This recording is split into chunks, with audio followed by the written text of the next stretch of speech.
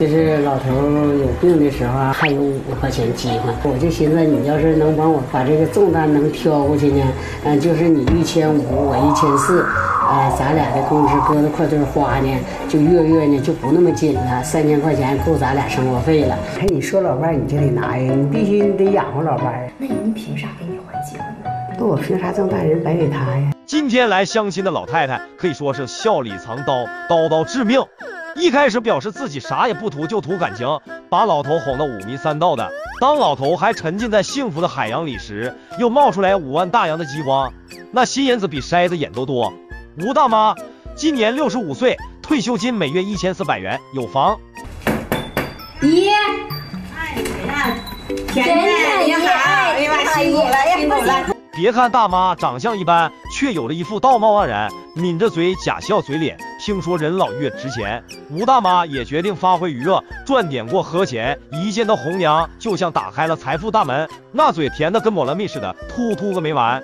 过来过来过来过来，甜甜长真好看。你要来吧，我都睡不着觉了。啊，昨天晚上没睡着觉。没睡着觉，就心盼你们呢，哎呀盼你们来呀。是呃，比亲人都亲。嗯，那我家没有亲人，你们要说来，哎呀妈，咱们这栏目组的就像我哥家亲人似的，可好。要说这大妈也真是能说会道的，一见到红娘就开始献殷勤，生怕红娘不给她介绍个好老头。要我说，就你这本事，根本就不需要红娘，公园相亲角就很适合。你以为大妈就只会溜须拍马吗？人家还是个专业演员呢。提到曾经的情感经历，那真是说下雨就下雨，想晴天就晴天。孩子扔到家这么多年没人管，完了我就搁这头，我就二年回家，东那家孩子说：“妈呀，你可回来，再我们可不能饿了，这屋里给我们冻的。”我一瞅孩子我就哭，完了我回去我就拉煤呀，把炉子啥都整好了，烧上了，饭那那大米啥买回来了。俺家孩子说：“妈，这回俺们可饿不着了。”小红娘听明白了吗？大妈的前半生真是又苦又憋屈。今天要是不给找个好老头，那就是你不懂事了哈。今天你来无意跟你又哭又长，我跟谁哭呢？跟谁也哭不了。马上好日子就开始了啊，别哭了啊。大妈跟第一任丈夫因为贫穷离了婚，离婚后大妈抛下两个孩子，又嫁给了第二任丈夫。大妈说了，之前离婚是因为太年轻，这回就算穷也一定好好过。我说就他这么穷，我说的他挎筐，我煮味儿，他要饭，我跟他一堆儿。这就是大妈的本事。老头在他的甜言蜜语中逐渐迷失了自我，最后竟然六亲不认，连自己的亲生闺女都不认了。他就一个闺女，闺女吧，第一不让他说老伴儿，啊，第二房子更他名，啊第三那工作你别要，一一年一月给他五十块钱零花钱。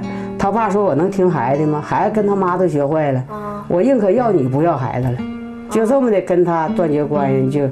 在大妈面前，啥亲情爱情、道德伦理都得靠边站。在他的温柔攻势下，老头跟女儿从此彻底断绝了关系。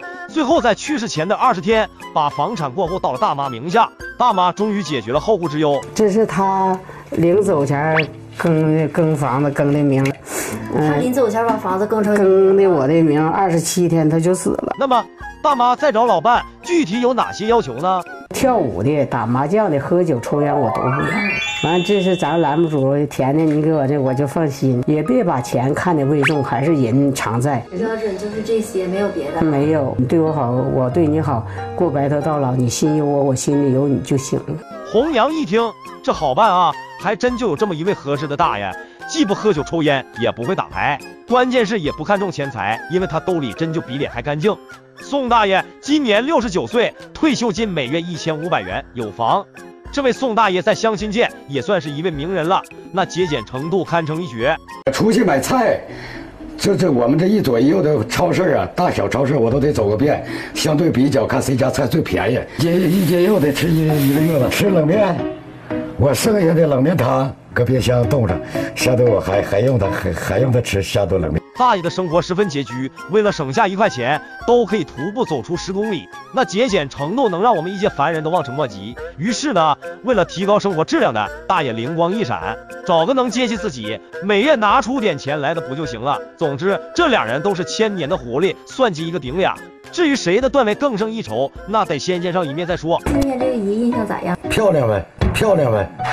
他这人瞅着一瞅就是老实厚道的人。大妈也是叱咤多年的老江湖，打眼一看就知道这老头好对付，于是坐下来决定好好唠唠，想用自己的魅力摸清大爷的家底。宋大爷见到心仪的大妈也是心花怒放，只要看对眼，哪哪是优点。我属羊的，哎呀，属羊的最好，找属羊的最好了。咋的呢？我也有，他会过日子，他不是两个人能能有共同，能过到一起，能过长远了。啊，属羊的这个属最好。咱没说你俩的属相合不合呀？知不知道啊？属相合，啊，你说合不合？我们不讲究这些，啊，我就寻思，嗯，就看这人老实本分，好心眼就行。通过简短的了解，两人很快就表明心意，对彼此的感觉那是越来越到位。于是大妈的戏精本精又附体了。他钱多钱少，你看这个心，看他这个人啊，嗯，人要好，心要好，钱多钱少，你不要他都给你。大妈的意思很明确，你要是好人，就得我不要你钱，你还得硬塞给我。大爷一听，立马表明心意，我就那几颗枣，你爱咋花就咋花。我这这没啥说的，只要成了，你你你你认可我了，我认可你了，我钱虽然钱不多，我都交给你，由你支配。一听只是拿出每月的那点退休金，大妈不乐意了，于是又使出了大招。我先表明我的诚意，你的真心就看你掏不掏老底了。我吧，第一眼看你就是不是鬼蛋的人。其实你那一千块钱不够咱俩吃喝的，要有个家啊，不够嗯。但是不够，有我的天，有我的天。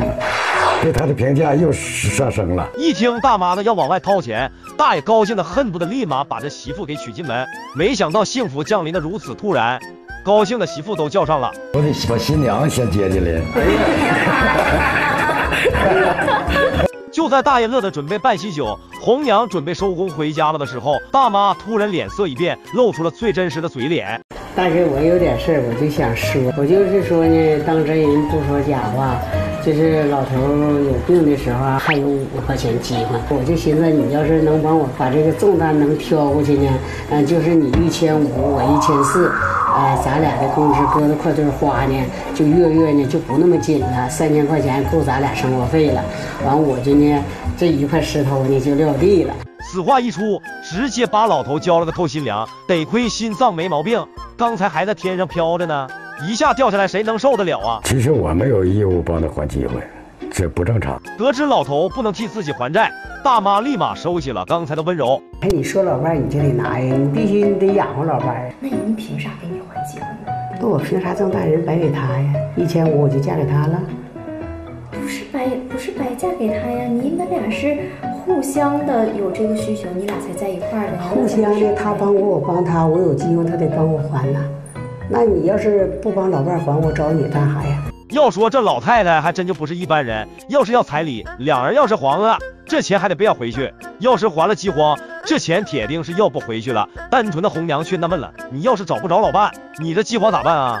那你这个结婚，如果你你就是一直不找老伴儿了，你这结婚打算咋办呢？我不能不找。说白了就是将卖身进行到底呗。大妈说了，以她这副皮囊，找个老头还饥荒不难。虽然这老宋人还不错，谁让他没钱呢？你再心眼好使，他没有那些钱呢，你还能要他骨头啥的，这不是那么事儿。怎么整？我真舍不得你这个人呢，一般都舍不得我还。真承担不起来。